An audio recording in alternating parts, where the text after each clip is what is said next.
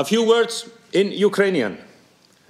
Ми стоїмо пліч опліч із усіма, хто шукає миру. Ми виступаємо на стороні всіх, хто мусить чинити опір агресору. Ми солідарні із усіма, хто хоче жити у вільному на та демократичному суспільстві.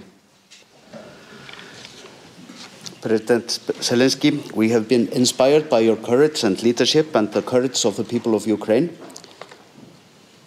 Please, Mr. President, the floor is yours. Дуже дякую.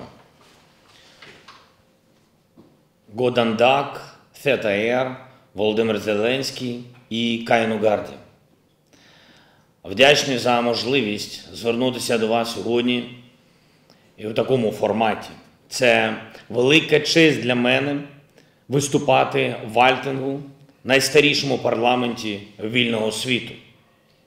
І про що ще можу говорити зараз, як не про свободу, найдревнішу цінність, за яку боролися і продовжують боротися люди, за яку воюємо ми зараз в Україні. Пані та панове, Україна та Ісландія пов'язані насправді дуже тісно. Наші культури добре знайомі одна з одною вже понад тисячу років. Наші предки легко знаходили спільну мову, і це прослідковується зараз і у нашій, і у вашій мовах. Ми живемо на різних краях Європи, в різних умовах, в різних умовах природних, економічних, безпекових.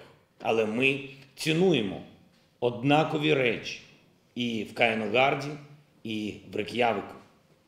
Безперечно, свободу, землю, якою володіємо по праву, і власну культуру, яка не лише показує нашу самобутність, виокремлюючи нас від сусідніх народів, але й зберігає для нас і для наших дітей зв'язок з усіма попередніми поколіннями. Усе це в Україні під російськими ударами. Що залишиться від України, якщо Росія буде успішною у своїй війні проти нашої держави? Російські окупанти несуть тиранію, яка не допускає жодної свободи. Вони хочуть привласнити нашу землю. Вони вже давно розповідають про Україну, що ми нібито не маємо права на самостійне існування, і вони хочуть стерти будь-які згадки про нашу культуру. Попри те, що наша культура має більш ніж тисячолітні коріння. Я знаю, як живуть у вашій країні, що запам'ятовується найбільше, так це ваша здатність в об'єктивно непростих і вимогливих природних умовах організувати соціальне життя так, щоб відчувалося щастя, щоб була достатня безпека для звичайних людей і щоб працювала справжня демократія. Коли бачиш ваші міста, бачиш ваші громади, коли бачиш ваших людей, бачиш ось саме це, ось саме це, як працює свобода, як працює культура. І який добрий результат вони дають на землі.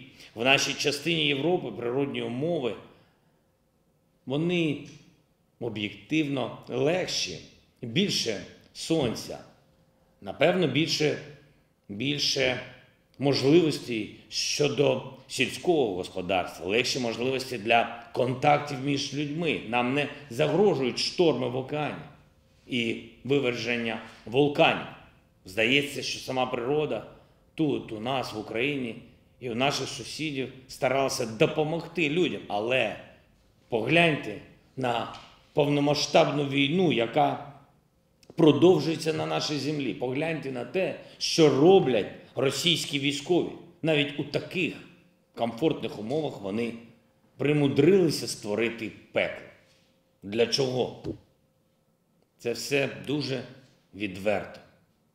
Щоб у нас ніколи не було демократії, щоб ми ніколи не мали незалежності, щоб нашу землю, нашу природу можна було використовувати всупереч нашим інтересам, щоб наші ресурси працювали на чужу державу і щоб наші люди були просто мовчазною робочою силою. Я прошу вас звернути увагу лише на один показовий факт. Вже більше 500 тисяч наших людей депортовані в Росію. Їх змусили туди поїхати. У них забирають все, забирають документи, їх лишають без засобів зв'язку, їх відправляють у віддалені регіони чужої землі, віддалені регіони Росії, намагаються там асимілювати силою 500 тисяч депортованих людей. Це велика кількість. І ви знаєте, це більше, ніж загальна кількість населення вашої прекрасної країни. Надзвичайний масштаб жаху. Впевнений, ви знаєте про вбивство російськими окупантами десятків тисяч мешканців нашого міста Маріуполь. Впевнений, ви чули про воєнні злочини, які російська армія скоює проти наших цивільних людей, зокрема в нашому місті Буча. Куди б не прийшли окупанти в Україні, вони одразу починають шукати кожного і кожного, хто працював на нашу державу, хто служив в нашій армії, шукають журналістів, шукають активістів, захоплюють представників місцевого самоврядування, тобто усіх, хто може боротися за свободу на своїй землі, на нашій землі. Заради того, щоб вільно жити, як того хочеться людям, як того хоче наш народ, кожен народ. Пані та панове, очевидно, що війна Росії проти України це не просто намагання захопити одну країну і зруйнувати життя в ній. Ні, це посягання на свободу як таку. І тому для усіх вільних людей світу важливо, щоб наша країна не залишалась один на один в протистоянні з Росією. Важливо, щоб кожен народ допомагав. Я вдячний вашому народу за кроки, які ви вже зробили, зокрема, підтримавши санкції проти Російської Федерації. Я вдячний також за підтримку різного рівня, яку ви надаєте нашій державі. Але закликаю вас не зупинятись. Закликаю ваш уряд, ваших дипломатів, ваших людей бути адвокатами посилення тиску на Росію, бути адвокатами свободи по всіх напрямках. Жодної торгівлі з тиранією. І в першу чергу потрібна відмова від російської нафти, нафтових сумішей і нафтопродуктів, жодного фінансових зв'язків з тиранією, жодної політичної допомоги тиранії.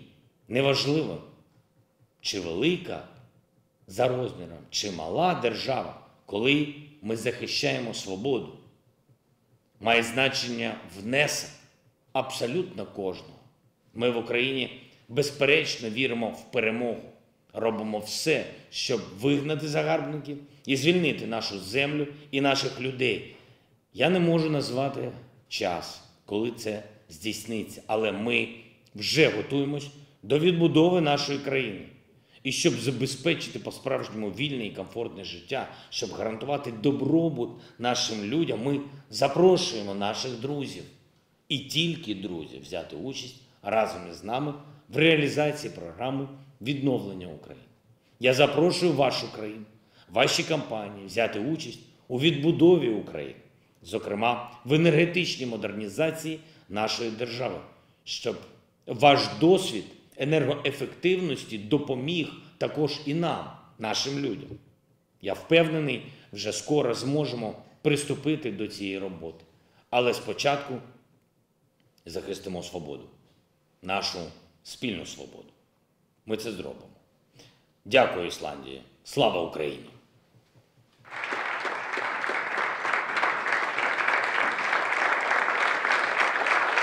Дуже дякую.